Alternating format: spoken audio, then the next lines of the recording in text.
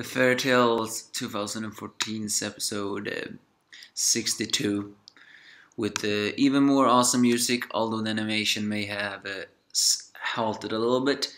The episode begins with Natsu showing Jackal he can nullify his explosions. The funny thing is when he does it once again, the glare he gives in the anime, that is actually ext extremely funny. As Jackal wonders if he's human, suddenly Jackal changes into a more demonic, like, well, or more, or more, it's easier to say, it almost looks like a werewolf type form. His voice gets deeper though, and his power increase. But Natsu is Natsu. He pummels Jackal until he can do a combination of Lightning Fire Emperor and uh, practically throws away Jackal. The funny thing is also, Natsu criticized Jackal for destroying the town when he entered this demon form.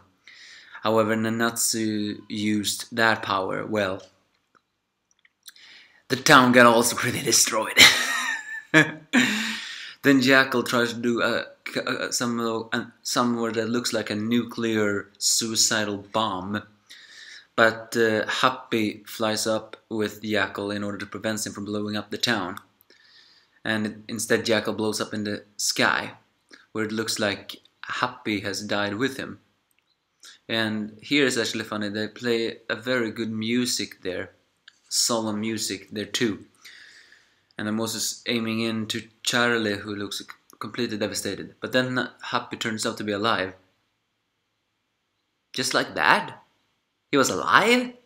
Well, he got an afro hair, but how did he survive? Did he use his max speed just at the right second? Uh, that's the only logical solution. We are then switched back to the other Fairy Tail members who have searched for the different sages or council members, but they are all dead. In Gray and Juvia's side, someone went on a rampage. The entire city is like it's just been cut by a sword. In uh, Levy, Lily's, and Gajeel's side, together with the two worthless members, uh, they are.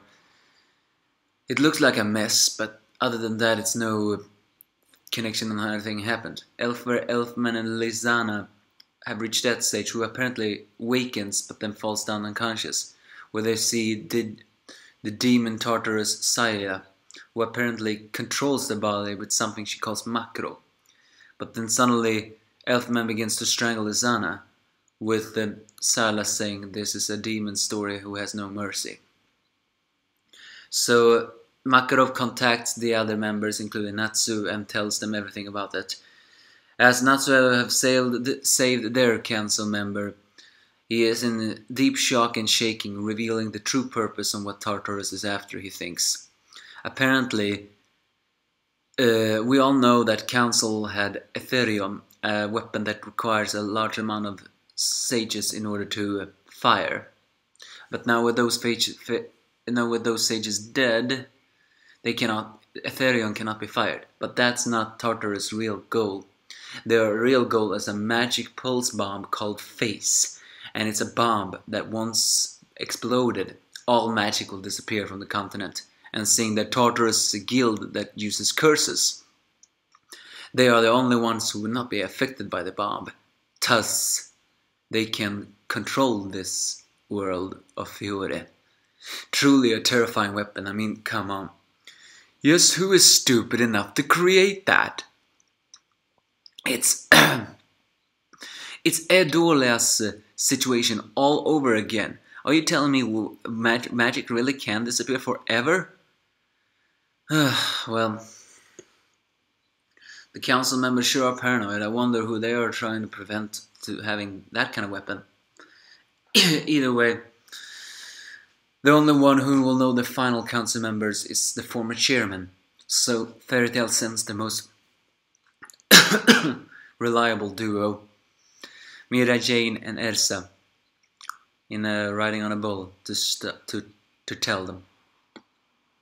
That's basically this episode.